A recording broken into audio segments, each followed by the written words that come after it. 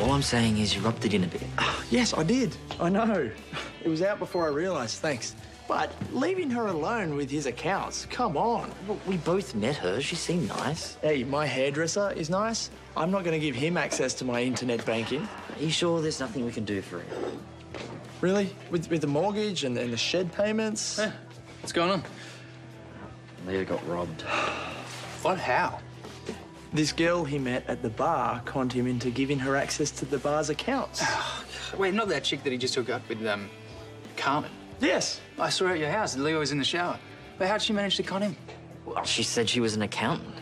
And I don't think they can afford this. They've already been fleeced this year when Vance took off with the float. Now, hang on, she said she was an accountant? Yeah, but look, it's probably just part of a spiel. No, it isn't. I knew she looked familiar. I... Her name's not Carmen. I know who she is.